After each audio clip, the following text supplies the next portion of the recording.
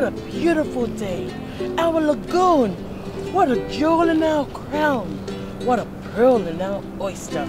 Unbelievable. What a pain in the... Ask yourself, do you think feeding the fish is healthy for our environment? Hmm? Ah, that is so fishing annoying. Oh, look at the fish. Oh, cute. If we feed the fish, they won't eat the algae messing up our lagoon. Unfishing believable. And please, don't step on the coral. Ah, that is so fishing annoying. Oh, for fish sakes! And if needs be, please use two fingers to push yourself away from the coral. And please, use Oxybenzone free sunscreen to protect the coral. Oxybenzone free sunscreen. Ah, just ask a fishing pharmacist.